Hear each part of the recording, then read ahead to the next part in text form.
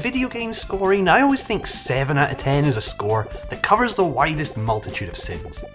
Some 7 out of 10 games aren't really all that great, but they scrape in because there's nothing that wrong with them, and going lower feels kinda harsh. Some 7 out of 10 games really are great, but just have a few too many little flaws to deserve an 8. Cotton 100% on the other hand, my copy which was kindly supplied by ININ Games, is neither of those borderline cases. Instead, it is the absolute epitome of a 7 out of 10 game. It's fine, it's good, it's simple fun, and it's hard to imagine anybody coming away from it hating the game. It's also hard to imagine anyone coming away absolutely loving the game. The port job has been handled by Ratalaika Games, and everything will feel very familiar to anyone who played their recent and very solid port of Gleylancer. One difference here is that the in-game story has not been translated this time, but honestly who cares, Cotton and Silk are off to find willows, and that's all you ever really need to know. The screen options are again quite extensive, a rewind feature has been added and functions very intuitively, and the game also supports save states. There are two different ways to play the game, one standard in which these modern editions are enabled, and one challenge in which they are turned off. A slightly odd feature here is that the challenge mode allows for cheats like infinite lives, max power, or max fairies to be turned on, rendering the game obviously a whole lot easier, but in order to unlock these cheats, you have to beat the game in the challenge mode first, and if you can do that, it's hard to see why you would want the cheats.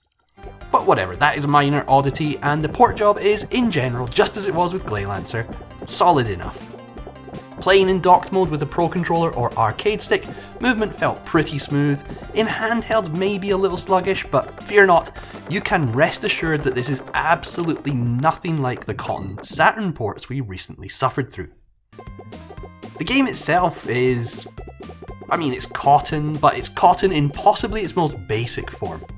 You have your standard forward shot, which can be powered up both by picking up the gems dropped by enemies to raise your experience, or by defeating certain red demons who will grant you fairies, who will then gather around you and provide additional firepower. You also have an infinite supply of bombs, although these are not what we would usually consider bombs, i.e. dealers of screen clearing devastation. Instead, these are little lobbed shots for taking out ground based enemies, more in the realm of firecrackers than bombs. Replacing what would be a proper bomb system is the magic system, but this is far less intricate than in many other Cotton games. You have three different magic attacks available, and at the start of the game you can choose the three spells you wish to use. You can then cycle through these in game, and doing so affects the formation and behaviour of any fairies you've managed to collect too. Unlike in previous Cotton games, your magic stock is far more limited here and really does work like a bomb system, with you being given only 3 charges to start and extras being relatively few and far between. Your stock also does not replenish after each death, meaning judicious use of this resource is a must. Fortunately, you won't require these attacks that often, as the game is a fairly light and breezy affair for the most part. I had seen it called easy when reading up on it after it was announced, but I feel like not difficult is a fair description, as you will likely need a little practice, and it does offer harder difficulties for those who want them.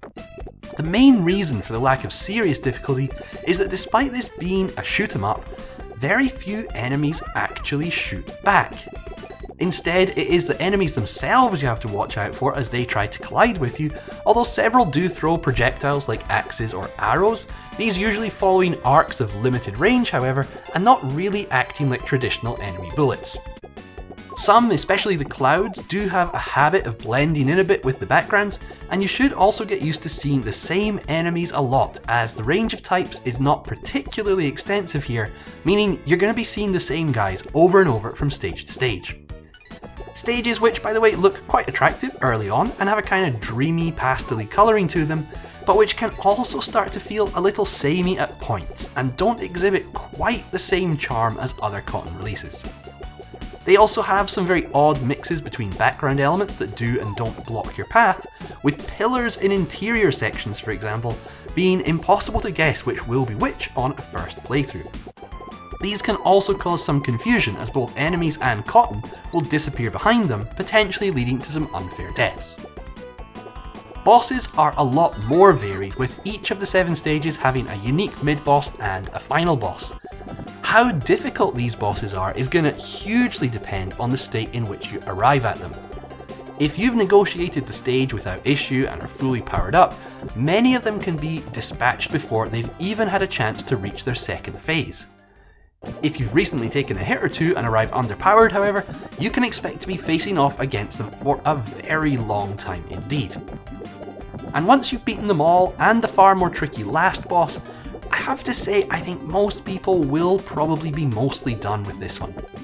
There's not much in the way of scoring, with end of stage bonuses being given for remaining magic charges, and tea time of course making its return, although in this case there is no extra bonus for avoiding all of the raining cups. Scoreboards are simple local affairs, but there's not such a problem here because while I'd say this may be a fun one to go back to now and then for a quick run through, it's hard to imagine many people feeling inclined to dedicate significant amounts of time to it. So like I said at the start, Cotton 100% is fine.